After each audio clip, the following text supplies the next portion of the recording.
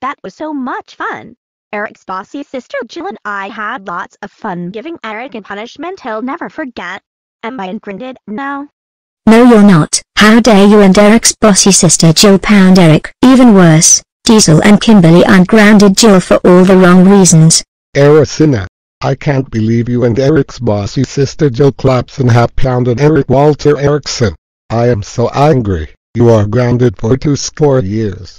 But Eric deserved to be pounded for misbehaving at the Trinity Christian Center. Blah blah blah we don't want to hear it. You still cause trouble. You cause more trouble than Eric, Brian, Stanley, and Thomas.